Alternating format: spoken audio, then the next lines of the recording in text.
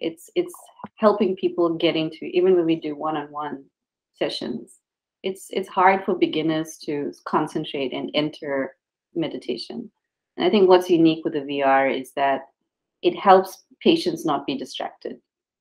And that's usually the barrier to starting meditation.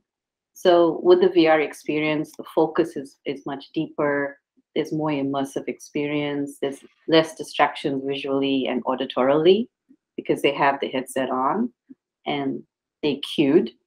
So I think it's it's able to keep the meditationer in a deeper practice state. And I think that's really unique and that's a huge highlight for us.